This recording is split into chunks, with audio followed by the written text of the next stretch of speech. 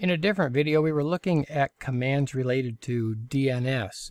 And one of those was ipconfig and then a space forward slash display DNS. And here I have several uh, records here related to DNS. Now these are all on uh, Wikimedia because uh, I'm they're actually coming from the wikipedia.org uh, website. And so uh, you can see that I was on Wikipedia and that's why those records exist in here.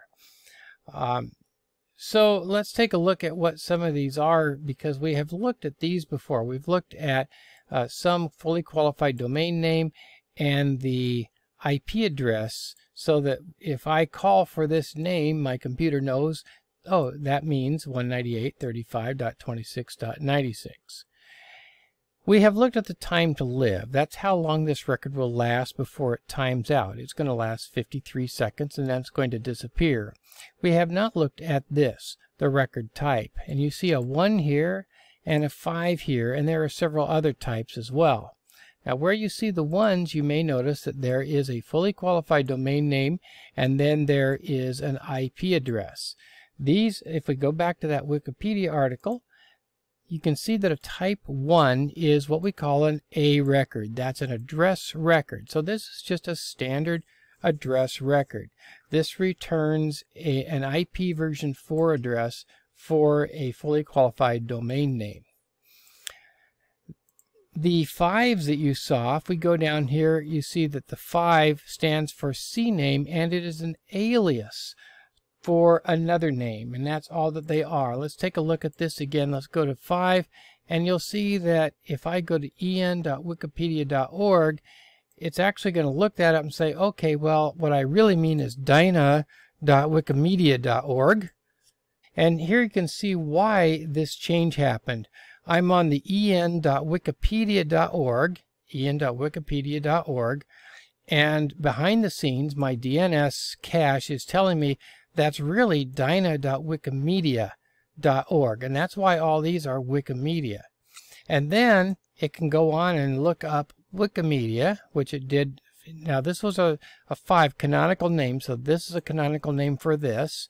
And then this, once it's resolved from this name, then it can give me the IP address with a type 1 record. So they're simply nicknames for a more complex name. This is the one that actually converted it from Wikipedia to Wikimedia. All right, the next one that we might want to look at, and let's go back here, is the Type 28. You'll need to know about the AAA record.